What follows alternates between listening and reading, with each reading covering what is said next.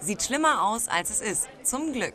Denn heute Abend hat Joker Alexandra Popp gezeigt, wie wichtig es ist, dass sie bei der WM dabei ist. Ja, ich bin auf den Ball getreten irgendwie und dann äh, also habe ich mir mein Knie verdreht. Das war ein bisschen uncool. Und äh, ich glaube, es war dieser, ja, dieser erste Moment, dieser erste Schmerz, der mich da ganz schön schockiert hat in dem Moment. Aber ähm, ja, ein paar Mal auftreten war es dann zum Glück doch nicht mehr so schlimm und ich habe dann einfach weitergespielt. Beim Testspiel gegen Norwegen in Mainz haben die deutschen Fußballfrauen 90 Minuten Powerfußball gezeigt und einen großartigen Schlussspurt hingelegt.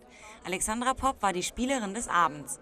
Nachdem Simone Lauder das Team schon zum 1 zu 0 geköpft hatte, schoss Popp innerhalb weniger Sekunden zwei Tore und sicherte den DFB-Frauen den 3 zu 0 Sieg. Eine gelungene Generalprobe für die WM also. Ja, so ab der, nach dem 3-0 stand ich teilweise hin und dachte, oh, die Mannschaft kann man echt stolz sein. Also hat mir echt Freude bereitet, von hinten zuzuschauen. Auch die Zuschauer im Mainzer Stadion hatten Spaß am Spiel und verbreiteten schon weltmeisterliche Stimmung. Die Vorfreude auf die WM und das Eröffnungsspiel gegen Kanada in Berlin wächst. Also ich habe auch auf der Bank gesagt, jetzt stellt euch vor, vor 75.000 Zuschauern in Berlin. Also das ähm, hier war schon grandios, muss ich sagen. Und ähm, ja, die Ränge haben im wahrsten Sinne des Wortes gebebt, dadurch, dass die Zuschauer ja mit ihren Füßen da rumgetrampelt haben. Also es hat einfach Spaß gemacht, dann auch darunter Fußball zu spielen. Diese Zuschauer, die haben so viel äh, Spaß gemacht, die waren so laut und haben die Spielerinnen so super angefeuert, dass man glauben konnte, es waren 78.000 Zuschauer. Also es war ganz toll und man merkt einfach die Euphorie in Deutschland. Und wir freuen uns jetzt auch alle, dass unsere Vorbereitungszeit zu Ende ist und dass es jetzt losgehen kann.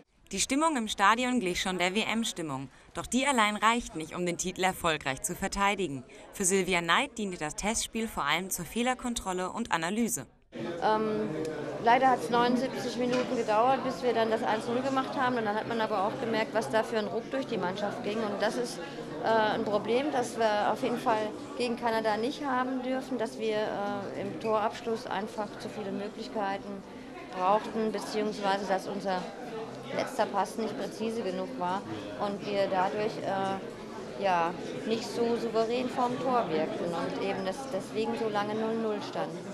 Die Reise nach Berlin geht los. Am Dienstag, fünf Tage vor dem Eröffnungsspiel, geht es für die Spielerinnen zur endgültigen Vorbereitung auf die Weltmeisterschaft in die Hauptstadt.